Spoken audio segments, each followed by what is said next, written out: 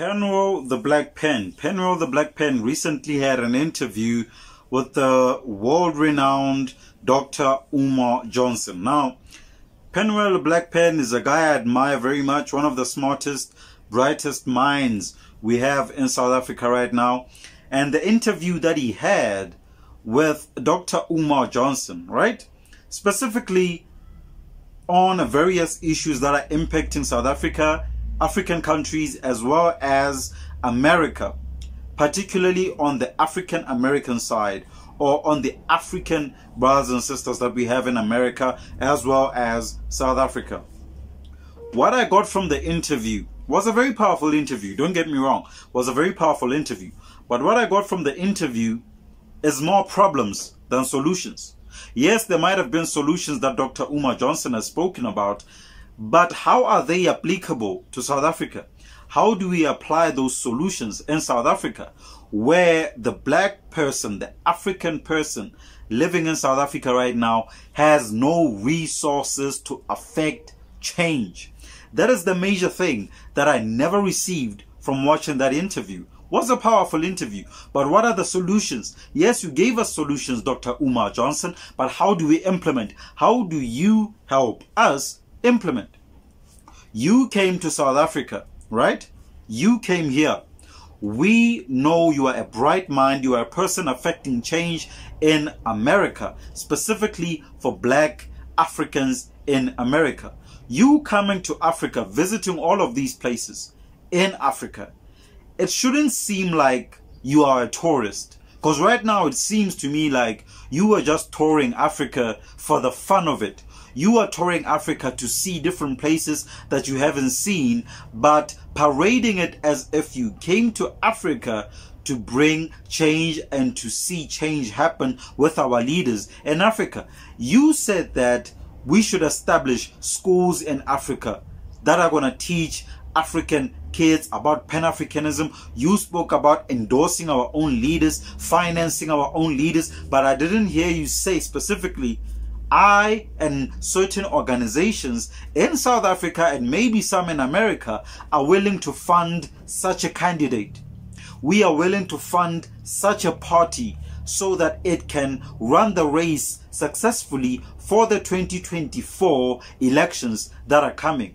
I never heard anything of that regard. Penuel himself, the questions he was asking, I thought were more personal questions. These, these are questions that he compiled while watching the various other interviews that Dr. Umar Johnson has had, and he compiled his own questions for his own personal needs. He needed answers to certain questions, not the country as a whole. The country, we have various questions that I believe if an average South African was to interview Dr. Umar Johnson, he would ask him outside of the LGBTQ plus community, outside of the Black Panther movie, outside of everything that they spoke about, outside of, you know, inter racial marriages outside of all of the snow bunny things that you guys spoke about.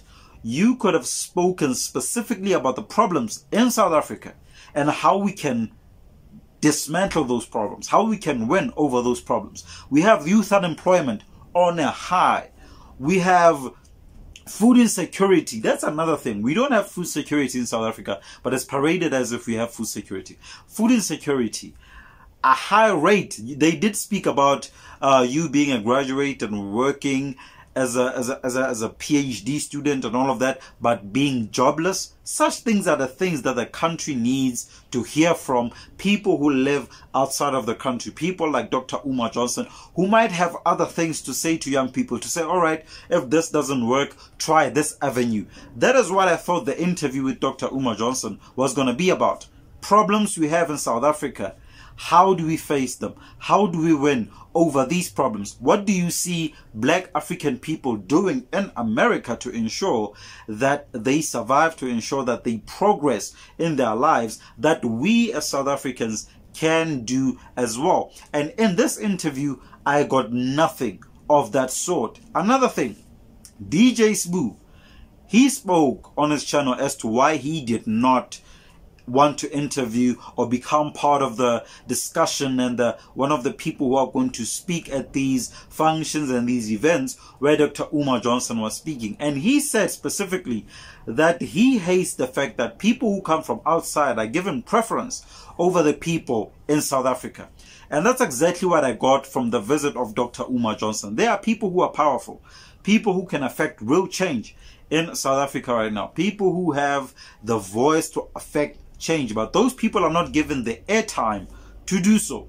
Instead, people like Dr. Umar Johnson are allowed to come into the country to bring solutions as per se, but those solutions don't really apply to us. Those solutions will not really make sense to many of us because of resources, because of various other things as well. What we need is people who have lived in the streets of Soweto, people who have lived in the streets of Yeoville, people who have lived in the streets of Khayelitsha, Alexandra, wherever, to come and say, we know the lives of South Africans. We know the typical lives of South Africans. And this is how we can win as an African child from this specific circumstance that you come from. Dr. Umar Johnson has a perspective of somebody in America. He can be smart as he is, but the perspective he has is a perspective that is in America. Yes, some of the things he spoke about do apply to Africans in Africa. Family planning, all of that, destroying our sisters by making sure that they are getting more jobs, getting more salary, and basically feminism. Those apply even in South Africa. But those are not the key problems that we need solutions to. Us having single parent households being raised by mothers or fathers are not there. That is a thing that you cannot run away from. It is a fact. It's something that is happening right now. The solution is what do we teach our single mothers? What do we teach our sisters to ensure that even though the circumstances that we are facing, that the fathers are not part of their children's lives, how can the mothers do something? What can they do to ensure that this person growing up you are raising is having positive role models in their lives? They are having positive outlook in life without them realizing or maintaining their focus on the fact that they're being raised in a single parent household. In America, they have various, various things that they do to ensure that people who are raised by single parents don't get a void in their hearts, don't get a void in their daily lives. They actually get mentors, they get programs that they go to. There are no programs in South Africa for such. Those are the things that we needed Penuel to speak about. Those are the things that we needed to see in the interview, and we saw nothing. Nothing against Penuel, nothing against Dr. Umar Johnson, but I just wanted to, to point this out that from the interview, we received nothing.